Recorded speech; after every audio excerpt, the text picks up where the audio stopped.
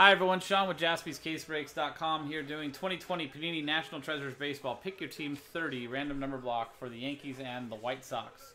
Just works like every other random number block. Every spot gets a random number between 0 and 9. If you get the number 3, you'll get all cards, with the 3 being the first number next to the slash on the left side of the slash. So for example, if the card is 243 out of 299, 13 out of 99, 3 out of 25, 43 out of 49, 93 out of 99, and so on. Number 3 will get the card. All redemption cards go to the 0 spot. Even if it is a known 1 of 1, it will still go to the 0 spot. Any non-numbered cards will randomize to the group. Uh, and this applies only for these this random number block for the Yankees and the White Sox. Here is our list of customers from Anthony Venturino down to Matt Medlin, and the list of numbers from 0 down to 9. Dice roll to randomize both lists and pair them up one in six, seven times.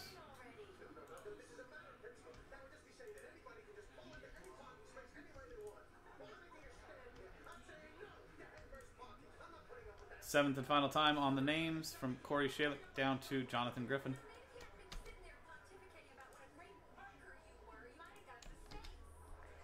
And six and a one seven times on the numbers.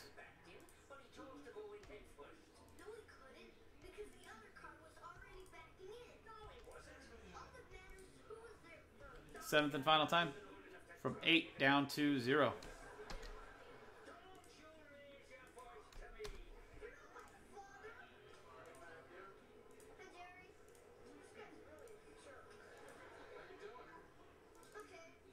So Corey Shalik with eight, Stephen Kendrick with three, David Alsup with five, Corey Shalik with four, Anthony Venturino with one, Matt Medlin, Last Spot Mojo with seven, Shannon Rex with nine, John Leonta Kianakos with six, James Brandt with two, and Jonathan Griffin with zero. So let's sort this by numbers.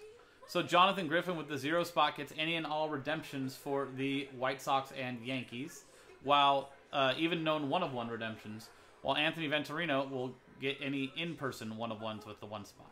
So that's the random number block randomizer for the Yankees and White Sox for National Treasures Baseball. Pick your team 30 from JaspysCaseBreaks.com. I'm Sean, JaspysCaseBreaks.com. See you next time.